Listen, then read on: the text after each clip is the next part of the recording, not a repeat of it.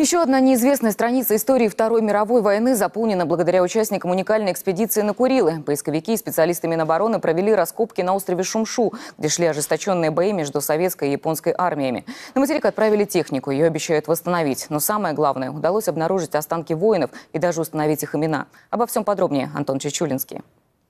Последнее сражение Второй мировой войны произошло именно здесь. Курильская десантная операция. Битва за остров Шумшу.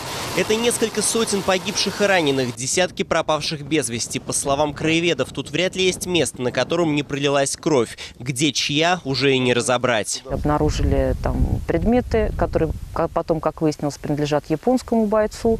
А, начали разработку места, а, соответственно, и обнаружили уже останки наших бойцов.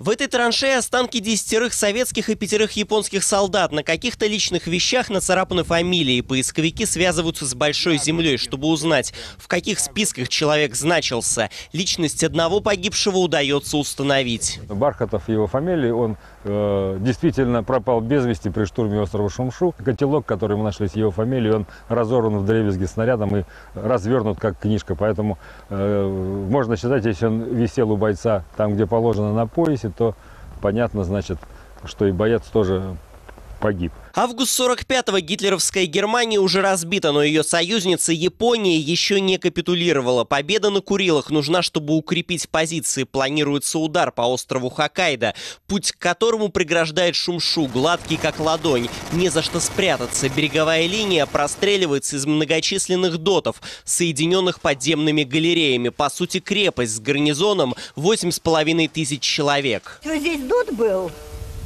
перекрытие.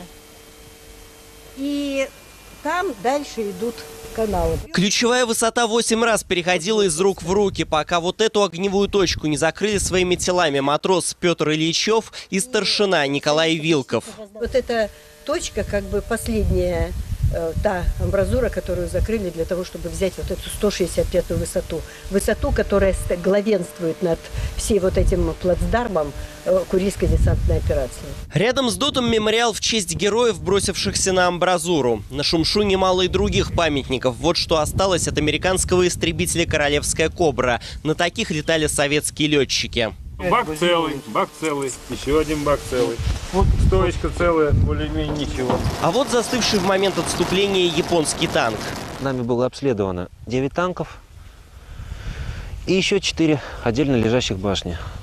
Потому что корпуса танков местные жители после войны использовали в качестве тягачей.